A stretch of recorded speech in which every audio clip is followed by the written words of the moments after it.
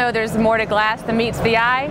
So today we're taking a look at products that are pulling double duty. I'm Ellen Rogers, editor of US Glass Magazine. And I'm Nick St. Denis, editor of USGNN.com. For many exhibitors, energy performance continues to be a huge focus.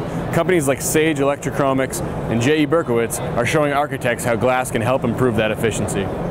We're showing light zoning here, which allows us to take one piece of glass and actually tint parts of it in different ways. So that might allow you to get lots of nice light coming into the room, but at the lower level, cutting out the glare that would prevent you seeing the computer screen comfortably.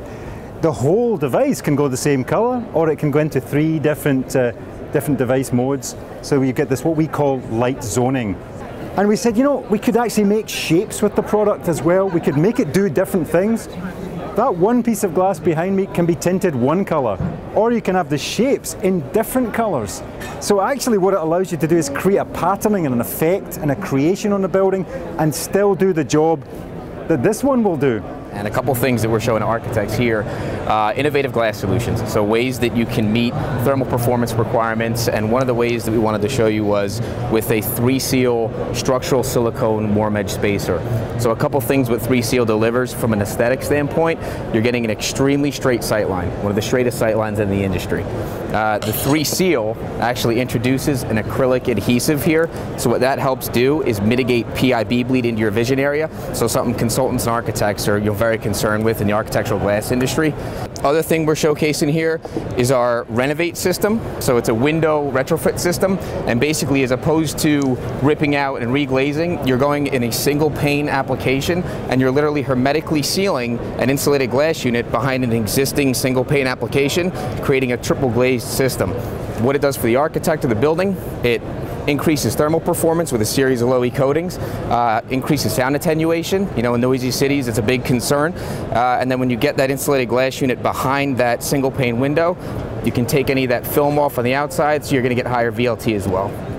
If you've been following our USGNN news coverage over the past year or so, you're probably aware that there's a growing interest in bird-friendly glazing products. That's right. Some companies, including Walker Glass, have stepped up and developed products that can be used in this type of application. There's definitely an increase, you know, that's quite, you know, uh, rapid and sharp uh, for some form of bird-friendly uh, property on the uh, building facade. But not just on building facade, incidentally. Uh, everything that's out, it's an outside glass structure is a potential threat to bird. We came up with other uh, bird-friendly products in the past. There are visual markers on the outside surface of the glass, but there, was obviously a need to come up with something that would be quasi-invisible. So what we're talking about here is a, is a marker that bird recognize, but is almost invisible to the human eye. And what it is here is we have a reflective coating on the outside surface of the glass, and we've stripped areas, fine lines of that coating to create a contrast. And birds are sensitive to both the UV signals that are emitted by the reflective coating and the contrast. Those two factors combined make it an effective bird-friendly solution. But there's more to glazing than just glass. The framing also plays a big part, and we spent some time talking with Pella EFCO Commercial Solutions about some of their new products.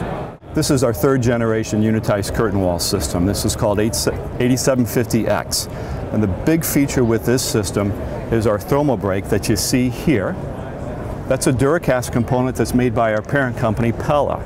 So from a standard system now, we have what we think is the lowest U value that you can attain with the unitized system with one inch glazing. We are getting ready to launch the new Architect Series Monumental Hung, which goes up to sizes 72 inches wide and 144 inches tall, so a 6 foot by 12 foot window. What that allows us to do is get all of those commercial um, wood clad openings as well as historic renovation jobs. Um, we have the option of dual or triple glazing. With dual glazing, um, you have the option of a U value of 0.28 and then we also have the option of going to triple where you can get U values as low as 0.18 with triple. I don't know about you, Nick, but I think this has been a great show so far, and I, for one, am learning a lot. Yeah, it has been. Uh, the glass and glazing industry has had a huge presence here for this architectural event, and uh, it's pretty exciting. Um, did you check out any seminars while you're here? I did. I went to one that is being was led by the architectural firm designing the new Sandy Hook Elementary School, and so I will be doing a separate USGNN news article on that next week. Okay, we'll be looking forward to that. Um, but that wraps up today's newscast. Keep watching USGNN for more news and videos from the AIA show. I'm Nick St. Denis. And I'm Ellen Rogers. Thanks for watching.